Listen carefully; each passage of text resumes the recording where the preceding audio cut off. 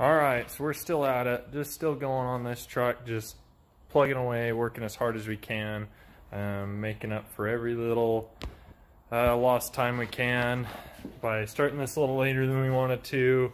Um, right now, I am, let me flip the camera here. Right now, I am trying to get the old ugly square body fuel cell out of it. Um, I've already pumped all the fuel out of it using a diesel can because that one was the empty can sitting around.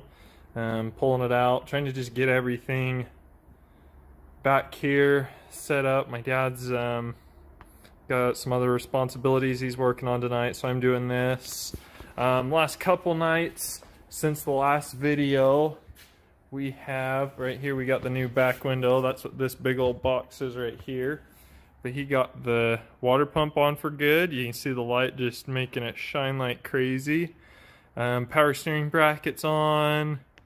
Um, pump and pulley, start of the AC and one alternator bracket. They're not on for good. If you can see that um, nice uh, socket head cap Allen screw. That's what he wants on it, but we're waiting for bolts. They've been kind of, place we ordered from has not shipped till today, so we won't see them for a few days. Uh, it's Wednesday right now. Supposedly we probably won't see him till Monday. Oh, he got all the the new spark plug wires set up. I think it looks so good. They're all even ran back. Um, he's going away from an HEI distributor like it had to a small cap just to clean everything up back there so the wires can run where they need to. Um, that's the fuel injection right there. It's a Holley Sniper kit um, he's got on. He back here, he's got some nice smooth valve covers. They're a lot like original big block ones, but they're stainless, um, polished stainless. Uh, they the reason they aren't on yet is because they're too short. They hit the rockers, um, so we just got some adapters. Um, we just we still got so much to do. Um, yeah, I better get at it.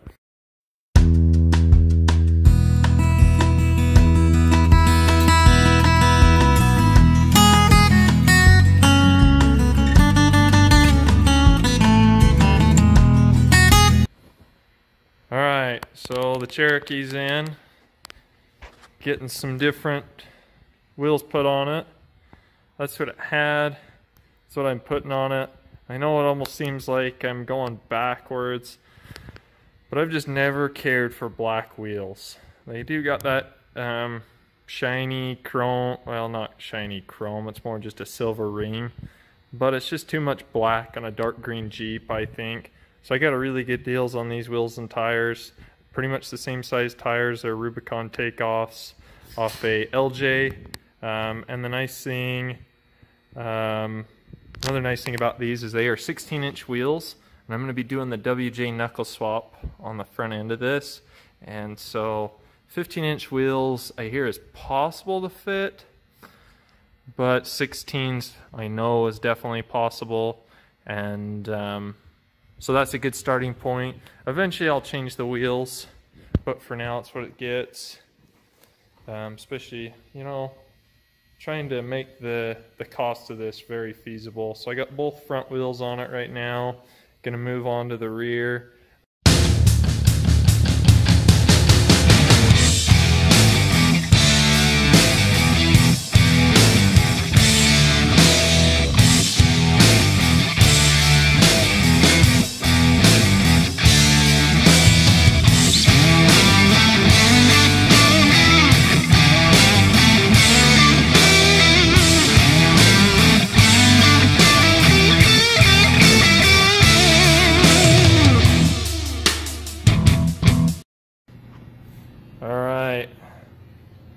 New shoes are on. Back sits about right where I hoped it would. Just fits perfectly. I actually really like the way these wheels look. Just brightens the whole Jeep up, which is what I wanted by going to these wheels rather than keeping the black ones. Got the spare tire on. As you can see, it does still have the nubbies. It's the original spare from this the 06 LJ that these came off of and tires in really good shape garage kept its whole life, supposedly. Um, so I think then one other thing I need to do on this is I was looking at these rock sliders here and I think they're actually on backwards side to side. If you look, the front's way too far forward and the rear doesn't come back as far to really be steps. And it's kind of wedged all wrong. Think that's the issue. Another project I gotta do is so right in here on the the uh, shifter display thing, whatever you call that. My grandpa put this switch in for the light bar that's on the front bumper. And I've just, personally, I don't like that switch there. So I bought a new piece that doesn't have a hole drilled in it. Got that. And this switch panel that replaces the ashtray. Um, I just got to mount it. I'm just did this about a week ago. Haven't really needed the Jeep, so it's been sitting apart. Need to do that. I was hoping to do that tonight, but it's getting late enough.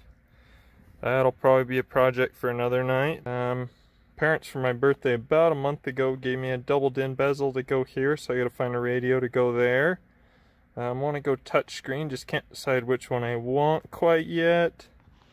But that's just all on the list of projects, especially with the uh, the 72 K10 over there in the garage that we're getting ready for Barrett Jackson. Got too many going on, but. All right, today I got this Suburban in. Um, it's a pretty cool rig. Someone's built an overlanding rig out of the 72 K10 Suburban. It's on an 05 Chevy chassis.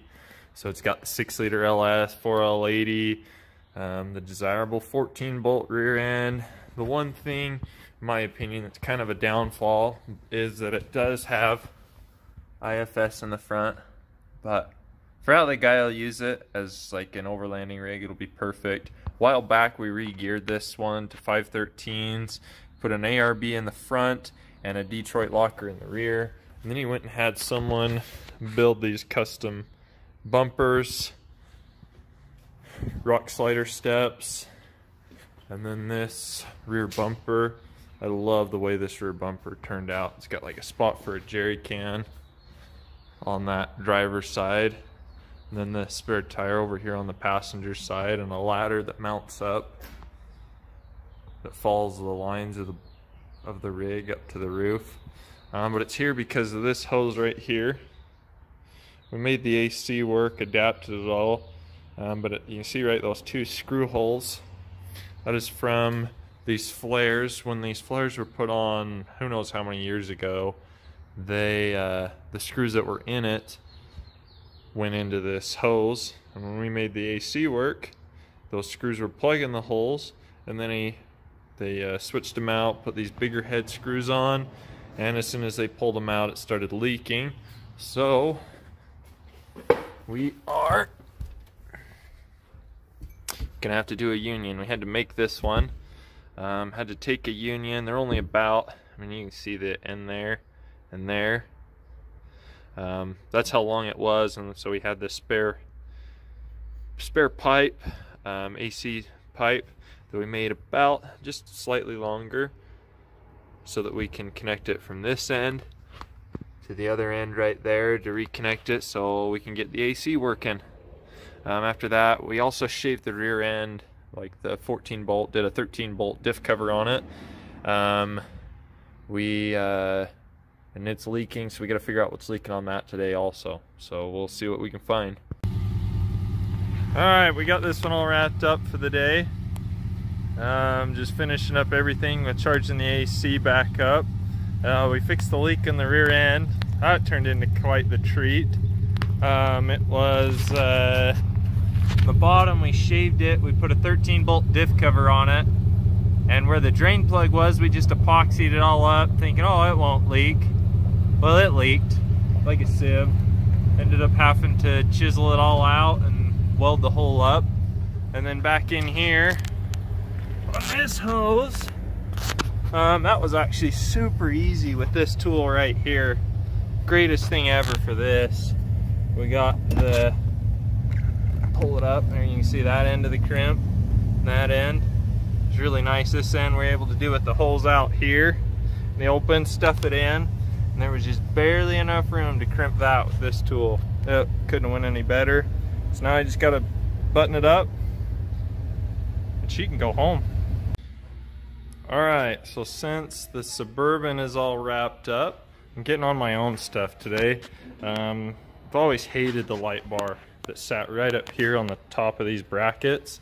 I just sat so tall, was way out of place right there. I think it's perfect. Get a, play with the angles. Uh, that's another thing is the angles were all squampus. I'm kind of anal about that. Um, and it'd also be nice to clean up the wiring because before the wiring right here for it ran down the pipe. You can see where the two zip ties were and through and over to this. But over here, I ran it up the lines for the winch up here and just have a it so much cleaner, less wire, not have this stuff in front of the radiator. Um, and then I also got to fix this. So the light bar would randomly come and go. And so this right here was a connector that was falling apart when I pulled the tape back. Because um, I was trying to figure out why there was one color different. This green one here on the other end, can't really see it, but down in there it's black. So I figured right there would be a good spot on tape it. And then I tugged on the other two wires. The blue one came apart. I think this green one's okay though. I'll double check it, probably triple check it. And then I can come in here and I can get this finished up, the initial part of the project. But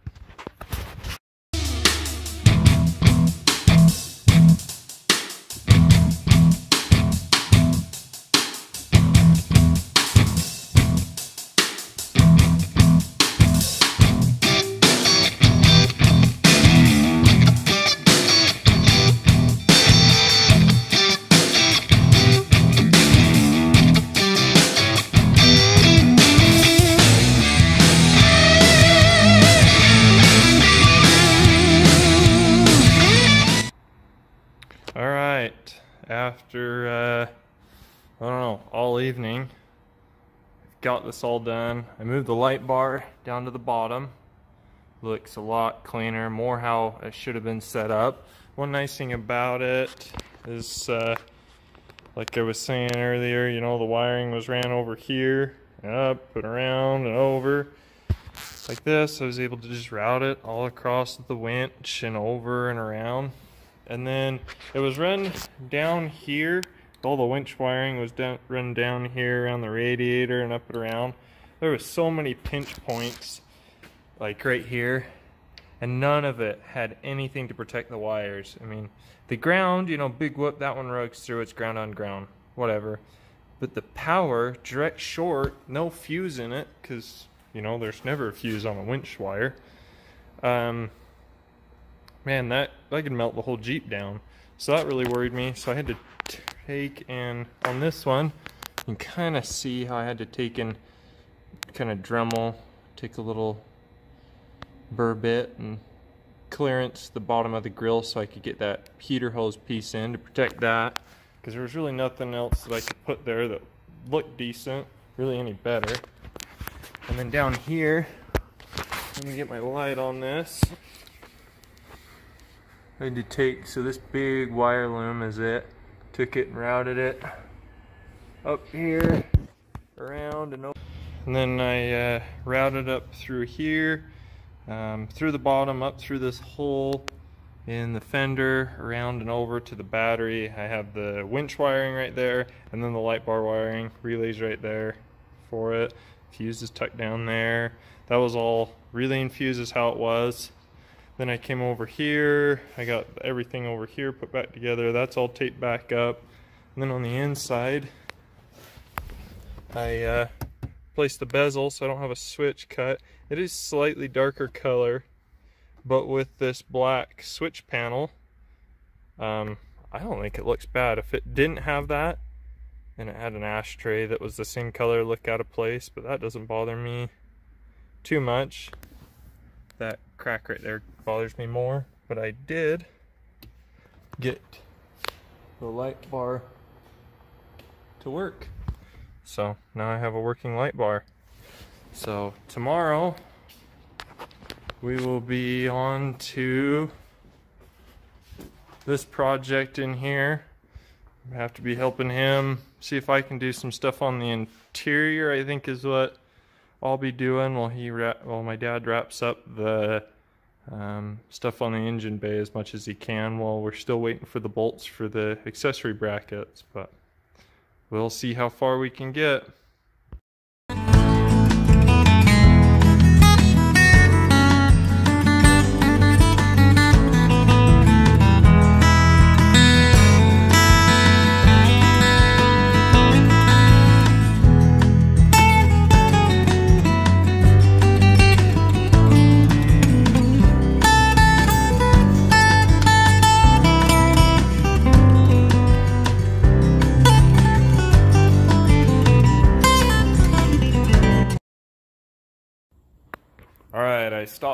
By on my way home after church. That's why I'm all in a suit right now.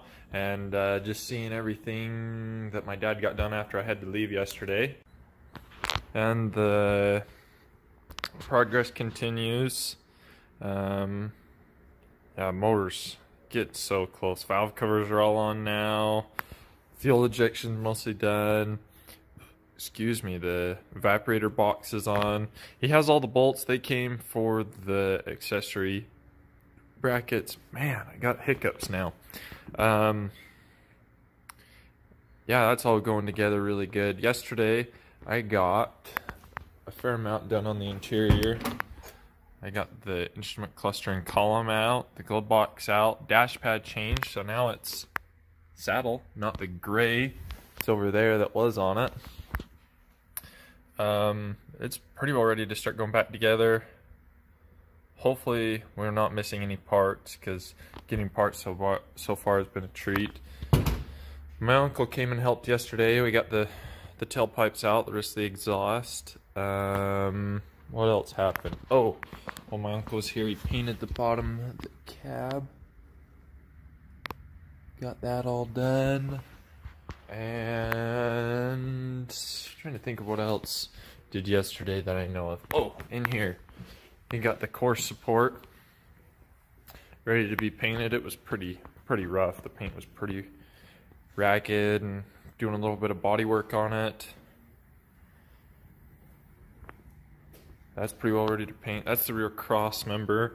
Um, we pulled it out when we put, or sorry, not we, my dad did pulled it out when he put the big square body tank in it, but now that it's getting a Boyd welding tank, that cross member's going back in it. That is the one out of the truck. We've held on to it for all these years. Got a few other things ready to paint right there. But yeah, progress just moves forward. We'll see how much we can do this week. I mean, we're down to two weeks before we got to have pictures submitted to Barrett Jackson. Um, I don't know if I showed this before. We do have the tires over here. We got these wheels, they're the Ultra 164s. The, we thought they were the bigger holes, which on this truck these small holes won't work. So over there in the boxes, we got Mickey Thompson Classic 3s. So we got to run those over to the tire store this week, get them swapped over. Kind of sucks to buy brand new wheels, mount them, and can't send them back. But on this truck, if it ain't exactly what we want, we're pretty much fine tuning it. It's just too nice of a truck to to settle on on some things. Um, yeah, that's it for this week. And every the progress is made. We uh, are hoping here to get this all these accessory brackets put on and have the motor pretty well wrapped up this week because the bed is done. Um, getting the paint touched up, so we got to go get that, and we got to do a whole, whole bunch of cut and polish. So. That's it for this week.